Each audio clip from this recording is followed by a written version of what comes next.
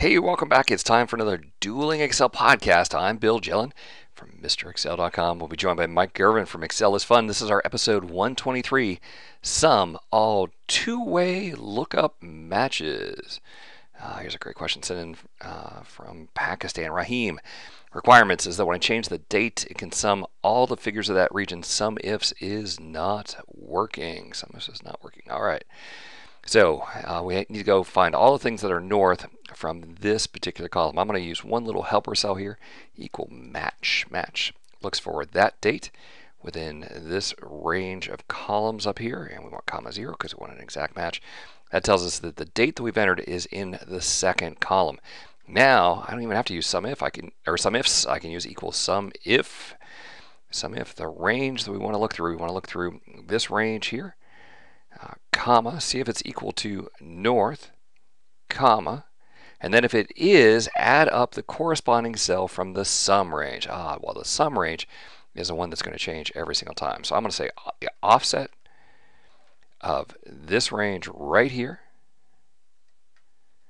comma, how many rows? Well, no rows. How many columns? Ah, the columns is the answer from right there. So in other words, we're going two columns over from A2 to A6. So we'll close the offset, close the sum if, and control enter. There's our 16. So let's just do a little check here. We have 5 plus 6 plus 5 is 16. Excellent. We will uh, copy this date down here, and it changes to 28. 10 8, 10, because we're now using an offset of 3. All right, I'm interested to see what Mike is going to come up with here, something a lot cooler than this. Mike, let's see what you have. Thanks, Mr. Excel.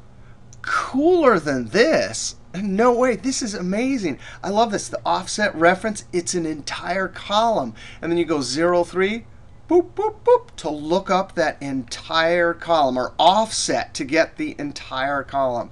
Hey, if we're using cool criteria in Mr. Excel, this is like an ice cube, and my solution is going to be like the sun or something. All right, let's come over here. So I'm going to take the approach of, hey, there's a two-way range here. I'm going to try and look up within a two-way range, look up the entire column. The index function is perfect for that. I'm going to give it the two-way array in the array argument there, comma.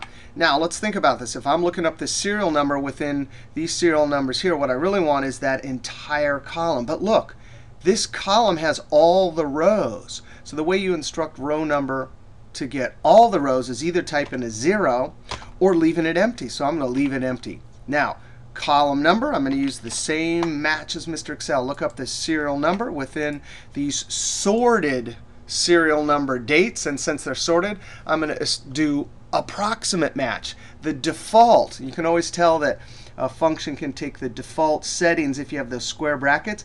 And if you know it, you can leave it out. So I'm simply going to close parentheses. That'll do approximate match. Now let's highlight this and use our F9 key, evaluate key. And I can see, sure enough, it's looking up the entire February column, Control Z. Now I'm going to slap that into sum if. Range, hey, there's all the criteria, comma. And the criteria is north. Close parentheses. Now you'd think this argument right here, F9, hey, it's spitting out an array, and you think it need Control Shift Enter? Hey, and if you go look at Mr. Excel's too, that offset is spitting out the same range of values or looks like an array. I can hit Enter without Control Shift Enter. If I change this, sure enough, it's given me the correct values. Now let's check this out. I'm going to come to the sum if and click on that sum range.